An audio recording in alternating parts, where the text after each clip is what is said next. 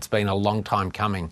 Uh, there have been 16 different pieces of legislation over the last 27 years in South Australia that have not passed our parliament.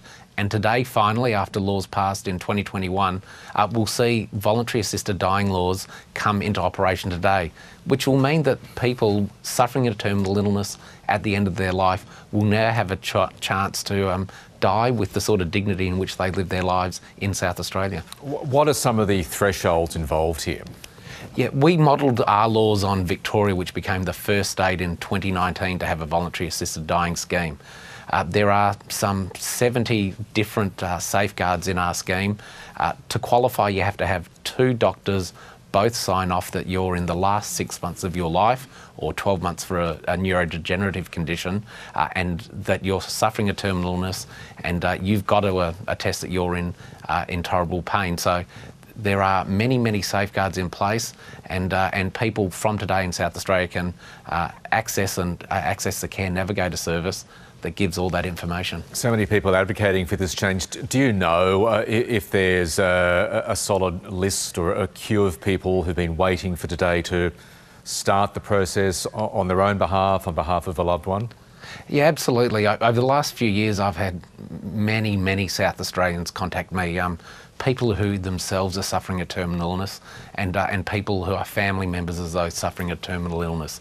Um, yeah, sadly, a number of those who would have used this scheme over the last couple of years have passed away, but there are people who have been waiting for today to come and uh, this scheme to come into operation. And the experience from other states is there's not a huge uh, um, pent up demand, but you know, slowly people apply for the scheme and people qualify for the scheme and, uh, and avail themselves to it.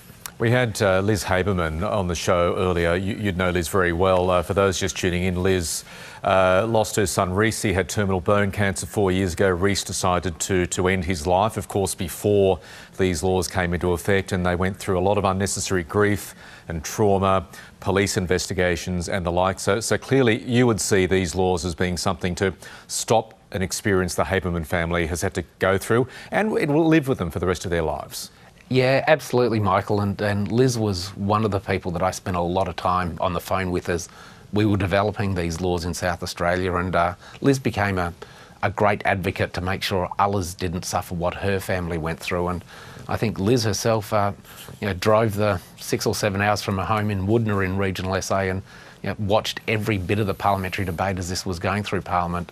And, uh, and yeah, I pay a great deal of tribute to people like Liz who are turning what is a, a family tragedy and into campaigning to make sure these laws have come to fruition and others won't have to suffer in that same way.